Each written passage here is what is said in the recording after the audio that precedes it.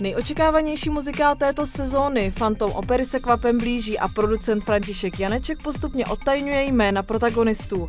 Svou roli už má jistou i Bohuš Matuš, který si zahraje milovníka žen Raula. Kvůli této postavě musel zpěvák podstoupit nemalé změny. Matuš dokonce přišel i o své typické vousy a aby vše bylo, jak se říká, tip-top, holení se zhostil sám producent František Janeček. No jak se cítíte bez vousů a z vlasy?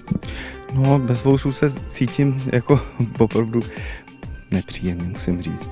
A z vlasy příjemně zase to jo, ale já jsem na to strašně zvyklý a všichni na to jsou zvyklí, tak je to pro mě nezvyk, takhle jsem se viděl naposledy v 15 letech. Takže neplánujete, že byste u toho zůstal, tohle image? No, ani ne, protože já jsem si vždycky říkal, že, že mě to bez fousu moc nesluší. Pozměnit vizáž Bohuše Matuše byl jedním z požadavků britských majitelů licence. Ostatně výběr postav není jediné, co musí projít náročným schvalovacím procesem. Kam se dáš, tam s tebou rád se dám. Ta spolupráce s Anglií je velmi těsná a velmi, velmi detailní a velmi podrobná, protože Phantom Opery patří mezi, v rámci jejich portfolia mezi ty největší poklady.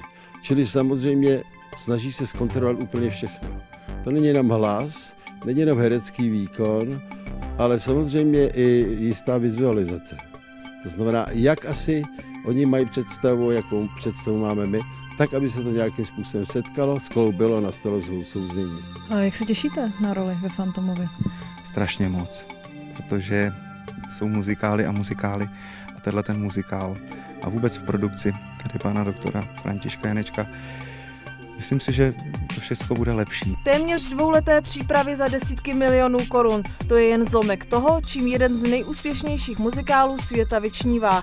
A diváci si ho poprvé vychutnají už 13. září. Je to nejkrásnější hudba, nabitá neuvěřitelným množstvím emocí. Je to nádherný příběh, čili v jedné větě řečeno, je to něco úžasného, je to, je to prostě můj umělecký sen.